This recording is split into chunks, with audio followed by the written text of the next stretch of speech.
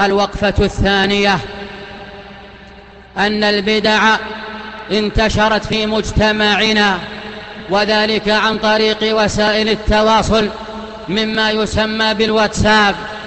أتت إلينا رسائل تقول أنت في أول الشهر لتقل ولا تنسى هذا الدعاء كما زعموا لتقل.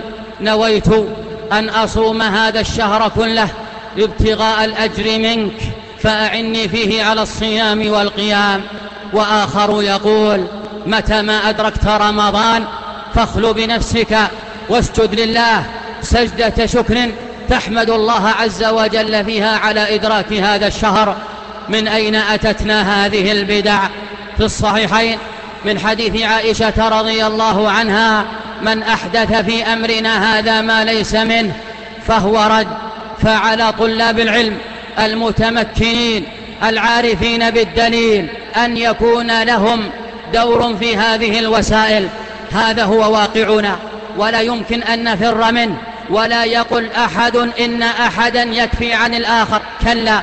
وإلا فإني أخشى على طلاب العلم أن ينالهم الإثم والعقاب من الله عز وجل. لما؟ لأن هذا المجتمع أصبحت هذه الرسائل تفد إلى بيته وتفد إلى كل امرأة وتفد إلى كل شاب وتفد إلى كل صغير وكبير. ثم وللأسف مع كثرة الجهل وقلة العلم إذا بشبابنا وبناتنا ورجالنا إذا بهم ينقلون كل ما يرد ومحرم محرم عليك أن تنشر شيئا يقال لك فيه انشر تؤجر.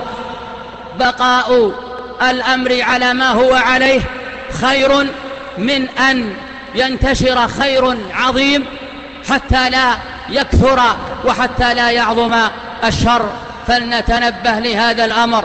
هذه الوسائل لو استخدمت والله لو استخدمت في نشر العلم الصحيح أفادت الناس إذ يصل العلم الصحيح إلى بيوتهم.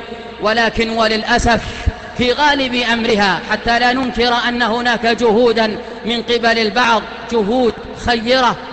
للأسف أصبحت تستغل من قبل الطوائف الضالة من الروافض من الصوفية في نشر بدعهم. وشبابنا وبناتنا ينشرون من حيث لا يشعرون. هم يريدون الأجر حتى ينتشر الخير ولكنهم أساءوا التصرف.